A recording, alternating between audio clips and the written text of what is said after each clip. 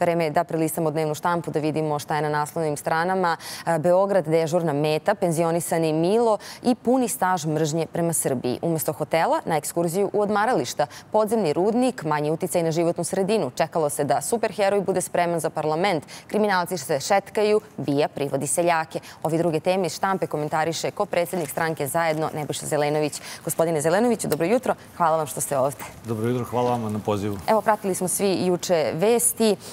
Dakle, u Srbiji danas je protest prosvetnih radnika. U svetu e, počinje još jedan rat. E, poljoprivrednik je privodi bezbednostno informativna agencija zbog organizacije protesta. Šta je za e, vas najvažnija vest? Pa ne znam pravo da vam kažem šta bi od svega ovoga moglo da bude važnije. Mislim da je ovo što se desilo sinoć i praktično to granatiranje Izrela koje je krenulo iz Irana jedna velika i važna vest koja mislim da će da potpuno baci baci ovaj sliku, odnosno fokus na to šta se dešava tamo. Sa druge strane, ove dve teme koje ste vi otvorili su jako važne za, za Srbiju i za, i za društvo. Evo, ja ću samo kratko, ako mogu, da se, da se osvrnem na ovo oko, oko Izraela i Irana. Ja mislim, pokušao bih možda iz nekog drugog ugla da, da kažem nekoliko stvari o tome. Dakle, e, prvo strašno je uopšte da smo došli dotle da tamo strade preko, ne znam, 40.000 žrtava na, na, na strani palestinaca. Rat koji traje, neki to nazivaju genocidom, strašan pokolj koji je svakako i ono što ja mogu da kažem, ono što stranka zajedno zastupa, to je da to tamo mora odmah da stane, treba da se prave dogovori. Tako mi to vidimo, ali u tim dogovorima očigledno da iz tih dogovora palestinska strana mora da dobije nešto, ona mora da dobije državu u punom svom obimu. I ono što se sada dešava je ovako jedna, jedna toliko opasna stvar.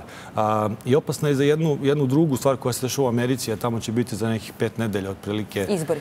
Izbori, to su po meni najvažniji izbori koji treba da odrede budućnost kako će se stvari odvijati u svetu u sljedećim godinama. Jedno što sada radi Netanjahu u Izraelu, mislim da jako koristi Trumpu. U Americi, u Americi je velika, velika, da kažem, arapska zajednica, ti ljudi su kompaktni, Oni su naročito odlučujući u glasanju u tim, da kažem, kolebljivim državama u Americi. Mislim da to može mnogo da utiče na rezultat Trumpa. Mislim da to nije dobro za ovaj demokratski svet koji želi da živi u nekakvom, u nekom svetu slobode. Mi ćemo svakako pričati o tome i u nastavku programa. Otvorit ćemo tu temu jučerašnjeg napada Irana na Liban, Irana na Izrael i Izraela na Liban. A šta kažete na ovaj protest prosvetara? Malo pre ste mi rekli da je vama to najviše važno. Meni je to važna stvar zato što ja mislim da je prosvet prosvjeta u svakom društvu jedna od najvažnijih tema je nekakav stub. Da je obrazovanje mladih i obrazovanje svih ključna, ključna stvar a, i mislim da smo sad došli u jednu prekretnicu u kojoj ovako više zaista ne može. Ja ohrabrujem sve prosvetne radnike u celoj Srbiji da izađu, da se borimo svi zajedno za njihova prava. Boreći se za njihova prava, mi se borimo za društvo. Ali oni izlaze, ali se ništa ne dešava. Pa dobro, oni, oni izlaze i izlaze u sve većem broju i to je dobro i ohrabrujuće. I ne zaboravite, mi živimo u jednoj ozbiljnoj diktaturi u kojoj se vrši vrlo ličan i konkretan pritisak na svakog pojedinca koji bude pokretač bilo kakve borbe, bilo da je on političar ili da je poljoprivrednik, kao u ovom slučaju ovaj čovjek koji je priveden od strane bija na nekim poljoprivrednim protestima tamo u okolini Subotice. Dakle, isti je mehanizam ove vlasti, ali to ne znači da se ljudi neće boriti dalje kao što vidimo. Evo, vidite, prosvetari su vrlo rešeni da u tome uspeju. Na kraju prosvetarska struka i nastavnici, profesori, čak i vaspitačice u vrtićima su degradirani i poniženi. I društvo koje želi da da izgradi nekakvu novu vrednost i nov kvalitet, ne može to da uradi bez kvalitetnog obrazovanja. Ono što je naša politika, to je što bi trebalo, mislim, zašto ćemo se mi i dalje boriti, to je da E, prosvetni posao bude u državi najcenjeniji i najplaćeniji pogledu na razvijene evropske države, kao na primjer Finsku. Ja ću stalno pominjam tu priču i nikad, je neću, e, nikad neću prestati da je ponavljam, a to je da primjer, moj dobar prijatelj u trenutku dok je boravio ovdje kao ambasador, finski ambasador Perti Konen je ovaj, stalno govorio kako je on jako želeo da bude nastavnik, ali nije uspeo u tome jer nije položio test za nastavnika, pa je morao da završi u diplomatiji. I zamislite koliko ta priča izgleda nadrealna za ovu situaciju u kojoj mi živimo u Srbiji. Ali tamo su to zaista najcenjeniji, najkvalitetniji, najbolje plaćeni poslovi i onda se najbolji ljudi kvalifikuju za to da budu nastavnici. Jeste, daleko nam je taj standard.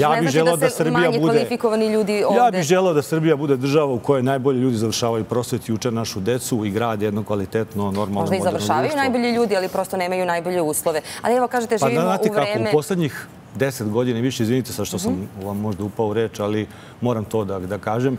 E, ljudi u prosveti znaju da u prethodnih deset godina u prosveti ne završavaju najbolje. I to je poražavajuće. To je poražavajuće te ljude koji su zaista savjesni i dobri i nastavnici, i profesori i vaspitači ovi koji sad dolaze tamo, njima je to utešna nagrada, njima je to, kako bih rekao, rešavanje njihovog socijalnog problema. To nisu ljudi koji su završili ozbiljne fakultete, to nisu ljudi koji su završili, koji imaju znanja da se bave prosvetom i na kraju kraja to je jedna atomska bomba koja će u nekom trutku eksplodirati, jer vi ovde nemate u suštini obrazovanje na nivou na kom treba da bi ovo mogla se nazove ozbiljnom državom.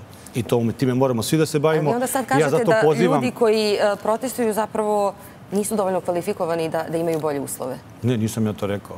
Ja sam rekao da ljudi koji protestuju su nezadovoljni svojim životnim standardom i nezadovoljni su uslovima u kojima rade. I mi smo svi nezadovoljni zbog toga i želimo da im pomognemo da u toj svojoj borbi uspeju i da se zajedno borimo za nju kao što treba da se borimo za sve u svim drugim segmentima. Ja sam samo rekao da u prethodnih deset godina je došlo do navale na prosvetu ljudi koji ne zaslužuju da se bave tim poslom u jednom značajnom broju i to profesori koji rade u školama znaju znaju oni ko su među vremenu kolege koji su došli preko stranke da uče decu, a ne zato što su kvalifikovani za te poslove. To znaju roditelji, na kraju kreva to znaju deca i zato se bune svaki dan. E, evo, kažete, živimo u doba diktature, neki drugi kažu da živimo u zlatno doba. Dakle, sa jedne strane, pola Srbije se podiglo oko litijuma. Za to vreme predsjednik otvara luksuzni hotel u Beogradu na vodi. Bezbednostno informativna agencija privodi poljoprivrednike, prosvetni radnici danas idu na protest, pa da li to onda znači za neke jeste zlatno doba, samo nije za mhm. sve, samo za prve među jednakima? Pa nije, ovo je samo jedna predstava zlatnog doba u kome određenim simbolima Vučić zapravo upravlja javnim mjenjem, ali u suštini to nije tako. E, činjenica da vi sad u ovom trenutku imate dve trećine građana koji su snažno protiv rudarenja litijuma u Srbiji je nešto protiv čega ova vlast ne može ništa da uradi. Kada i vi imate u nekim istraživanjima da među 65 i 70% ljudi je protiv jednog projekta kakav je rudarenje litijuma u Jadru. To znači da na sveukupnu populaciju to je skoro pa 100%. Znači ljudi neće taj projekat i ljudi se bune protiv toga.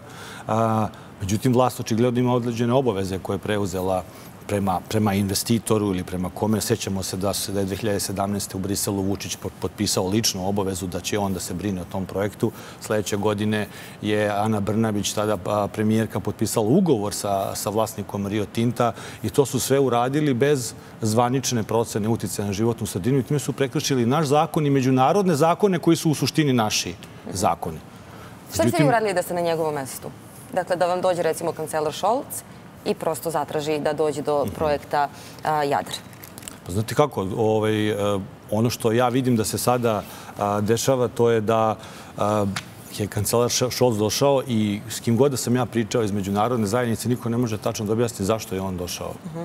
Znate, to je jedna vrlo neočekivana i neobična poseta. Umeđu vremenu, evo, stiglo je, i ne znam da li je to ovako malo promaklo javnosti u Srbiji, ali evropski zeleni su izašli, kojima i stranka zajedno ovaj, želi da pripada, a, su izašli sa jednim vrlo jasnim stavom u kome podržavaju ovaj, ove proteste građana i podržavaju građansku volju da se to ne desi u jadru i da se nijedan projekat u suštini ne dešava koji je protivan zakonima i koji ugrožava životnu sredinu i generalno živote ljudi ali očigledno da postoje neki lični odnosi između ovaj, koji su zasnovani na određenim interesima. A kako upravo to doživljavate kao neko ko se zalagao za Evropsku uniju, ko se zalaže za Evropsku uniju, kako prosto tu podršku Šolca i Unije doživljavate?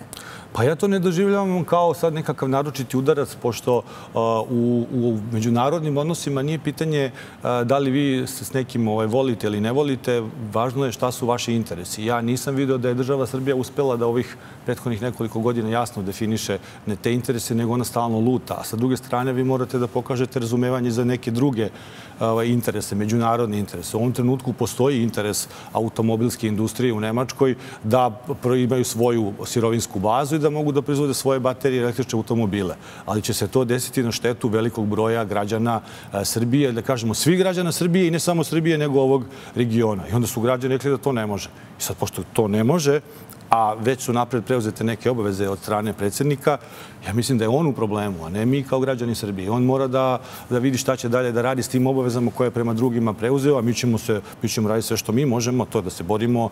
Evo, imali smo pre nekoliko dana u Šapcu protest, pa smo imali blokadu državnog puta. Nastavit ćemo dalje sa tim, u toku su i sastanci sa različitim akterima. Ja pozivam sve da se uključimo u zajedničku borbu, da napravimo već jednom tu zaista društvenu koaliciju koja na ovom jednom pitanju ostaje do kraja složna i ostaje do kraja složna u najboljem interesu građana Srbije. Kažete, Vučić je u problemu, a da li su u problemu i proevropske opozicione stranke u smislu gubljenja podrške iz Evropske unije upravo zbog tih interesa? Ja mislim da mi imamo jedan problem generalno kod, kod proevropskih snaga u Srbiji i mi pripadamo tom bloku, a to je što veliki broj tih aktera uopšte nije siguran šta tačno znači proevropska snaga. I nije tačno šta sve moraš na tom putu da preduzmeš da bi Srbija mogla da postane jedan interesantan partner u budućnosti za Evropsku uniju. I mi smo imali nekoliko trenutaka kada smo propustili te šanse da prosto mnogo brže i snažnije se integrišemo u Evropsku uniju. Ovo što sada Vučić radi, on to neće. I on to jasno i kaže. Dakle, on, Srbija će ostati na evropskom putu, ali on tamo nikad neće otići, prosto zato što Srbija neće neke stvari koje se od nje očekuju da urade. Ali sad moje pitanje za... Koje su to bile šanse? Pa bile su, bile su šanse sad kada se desila agresija Rusije na, na Ukrajinu. To je bio jedan trenutak u kome je iznova pao Berlinski zid. Znate, to je, to je događaj te važnosti za Evropu. A mi želimo i živimo u Evropi, ali nikako da se integrišemo u te zapadni svet. I u tom trenutku je bilo, bilo vrlo važno da se napravi jasno određenje Srbije prema takvom jednom činu koji nije samo simbolički, on je vrlo, vrlo konkretan ali to ova država nije uradila. I ja se sećam tih razgovora, mi smo imali debate u parlamentu kad je Vučić rekao najbolje da se sakrijemo pod kamen dok ova bura ne prođe, ali nema tako veliko kamene svog koga možete da se sakrijete. Tako da neke teške odluke se moraju donositi. U tom trenutku ja nisam vidio da je puno da kažemo, proevropskih stranaka u Srbiji zauzelo stav da treba biti jasniji i određeniji u takvoj jednoj borbi, da treba podržati ukrajinsku državu i ukrajinski narod u svojoj borbi za slobodu, da treba uvesti sankcije Rusiji, Mi smo kao stranka od početka na vrlo jasnom stanovištu da to tako jedino može da je to tako jedino moguće. I na kraju vi sad imate prosto Evropsku uniju koja ima aktera koji njoj obezbeđuje to što je njoj potrebno, kao što je, na primjer, litijum ili određene povremene koncesije na, na Kosovu, ali ništa van toga. To za Evropsku uniju nije dovoljno. I sad je pitanje da li može da se napravi alternativa. Ja verujem da može. Ja sam siguran da posle izbora u decembru, koje je Vučić pokrao dramatično, može da se napravi proevropska snaga, ali očigledno za nju hoće da glasa više od milion ljudi. Hajde da je napravimo, ali da napravimo zaista iskreno sa svim tim stvarima koje su neophodne i nužne i moraju da se dese. Ako to uradimo, onda mi nemamo problem više sa Vučićem. Prepravljanje te snage e, i dalje postoji taj problem sa Vučićem. Evo, odložena je sednica juče 30 ili prekuće 30 minuta pre nego što je trebalo da počne. A vi spominjete ovaj dovoljno veliki kamen ispod kog se on krije. Pa da li mislite da je onda to odlaganje, prosto njegovo sakrivanje, smišljanje neke nove taktike?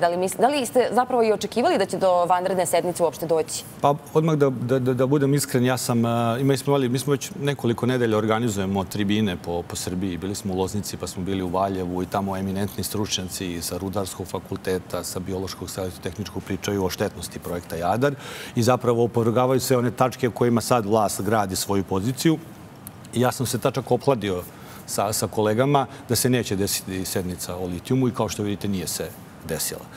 Jako je po meni problematična činjenica da je opozicija u parlamentu dozvolila sebi da izigra da je izigra Ana Brnabić i da prihvati da se desi vanredno zasedanje o rebalansu budžeta pre sednice o litijumu. Sednica o litijumu je prva sednica i jedina koja interesuje građane Srbije u ovom trenutku i dok se ona ne završi, sve drugo je nebitno.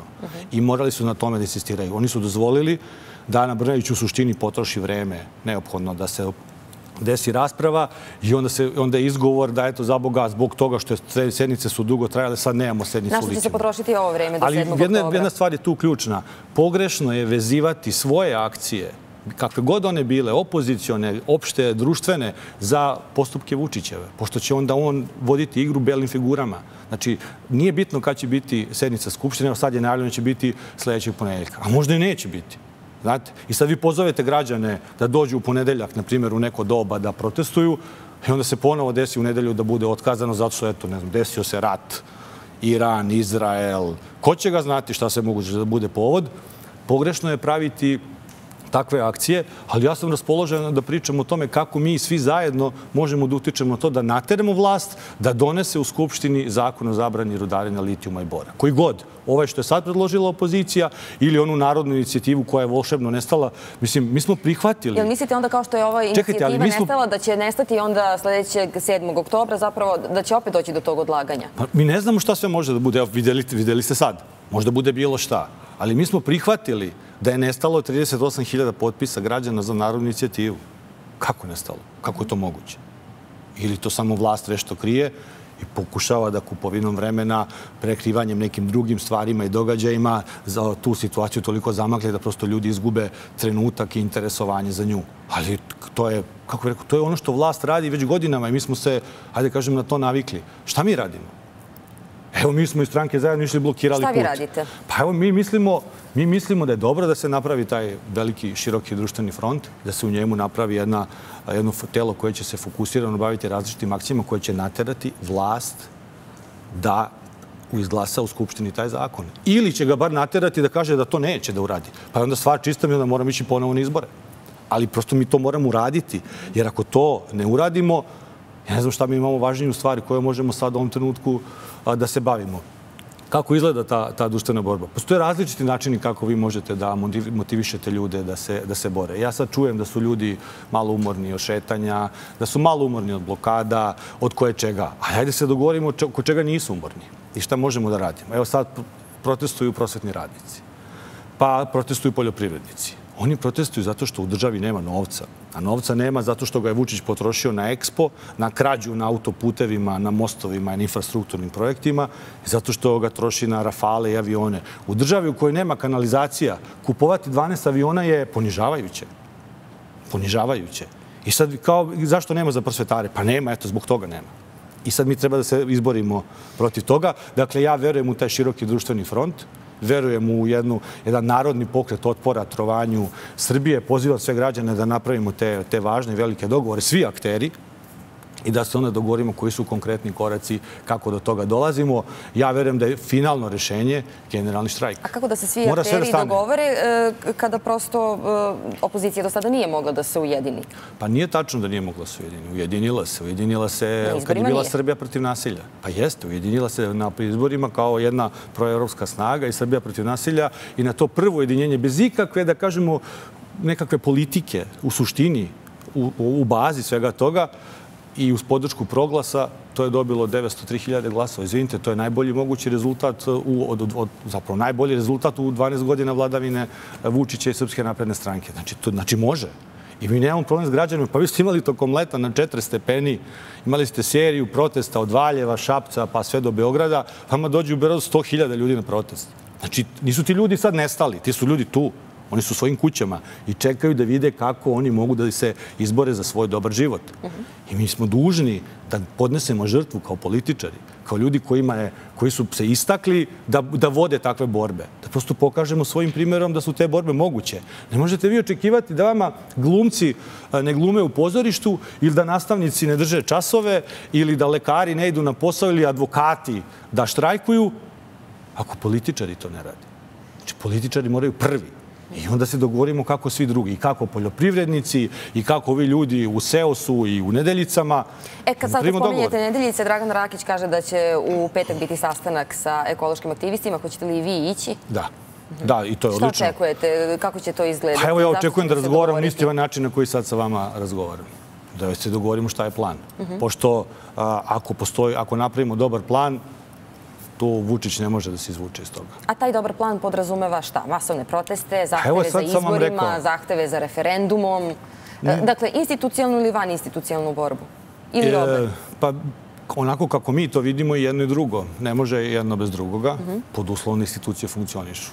Ja iskren da budem, ne vidim da parlament nacionalno funkcioniše.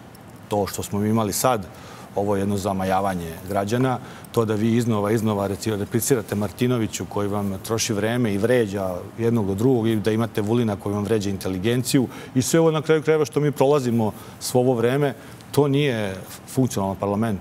I na kraju krajeva u tom parlamentu ne postoji nikakav red. Ne zna se kad su sednice, ne zna se, zakazuju se uveče, ujutru se otkazuju, može ovako, može onako, jedno opšte šibicarenje, ako mogu tako da, da kažem. I onda u svemu tome, vi sad treba da nađete dobar put dobar put mogu da nađu ljudi koji žele da pobede Vučića. E, a evo, vi kažete put, šibicarenje... Oni koji ne žele ne mogu nikakav put da nađu. I oni isto mogu samo da budu deo šibicarenja. A tabloidni mediji za vas e, kažu šalabajzeri. Pa e, možda, i, možda i ima šalabajzera. Znate, možda stvarno ima šalabajzera. Ja u to ne bih ulazio. Ali a, ja ovdje govorim o političkim promenama. Govorim o političkim promenama koje moraju da dođu u nekakvom društvenom talasu Pa, političkim promjenama postoje razne politike i postoje razni predstavnici tih politika. Ja verujem da ja, bar iz kraja iz kog dolazim, i ono što smo radili mi u našoj stranici, nismo nikog obrukali.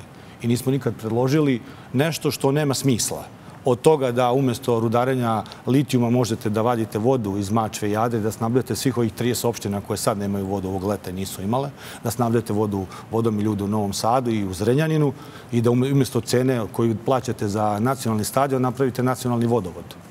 Pa sad birajte građani, hoćete nacionalni stadion, hoćete nacionalni vodovod.